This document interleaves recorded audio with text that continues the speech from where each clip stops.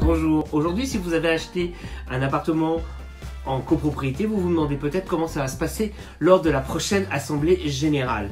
C'est simple, je vais essayer de vous faire une synthèse de toutes ces choses-là maintenant. Donc, selon le type de travaux qui a voté pour la copropriété, il y a plusieurs façons de calculer le vote.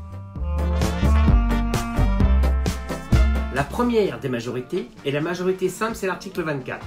C'est la gestion courante de l'immeuble. Il faut que le vote, pour qu'il soit validé, il y ait condition d'avoir la majorité des votes exprimés des copropriétaires présents ou représentés. Et donc, sous cet article, qu'on vote les petits équipements de la copropri- copropriété pardon, et l'approbation des comptes, par exemple.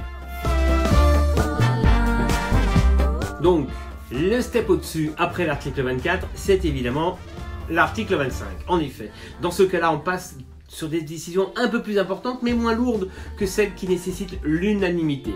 Là, sur l'article 25, le calcul se fait au vote de tous les copropriétaires ou pas présents. Alors, qu'est-ce qui est possible de voter avec cet article 25 qui est la majorité absolue Il y a la rémunération du syndic bien sûr, mais aussi des travaux importants sur la structure de l'immeuble, par exemple mettre une antenne SFR ou Bouygues sur le toit de l'immeuble.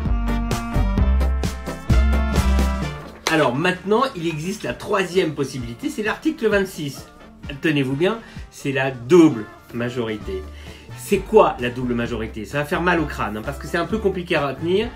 Donc je vais reprendre mes notes, si vous voulez bien. On y va. Voilà, le calcul est un peu plus complexe, car il va falloir réunir à la fois les deux tiers des voix et en plus la majorité de tous les copropriétaires présents ou non. Je passe sur un exemple qui va être beaucoup plus simple. Admettons que nous avons copropriété qui comporte 50 copropriétaires qui représentent 900 voix.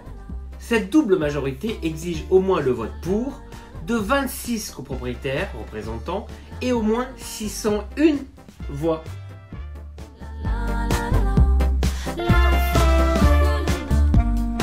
Alors cette double majorité concerne les décisions de vote très importantes. Par exemple, vente de parties communes. La conciergerie, par exemple. Ou par exemple, construction d'un étage supplémentaire dans l'immeuble. Ou alors, destruction possible aussi. Alors, le dernier vote, la dernière règle de vote, c'est l'unanimité. Et bien, comme son nom l'indique, 100% des propriétaires. C'est-à-dire que s'il y a des absents lors de cette assemblée générale, et ben on est chocolat, on peut plus voter. Voilà. Alors, qu'est-ce qu'on trouve, par exemple, dans cette unanimité? Eh ben, Tout simplement, un local commercial qui devient un garage.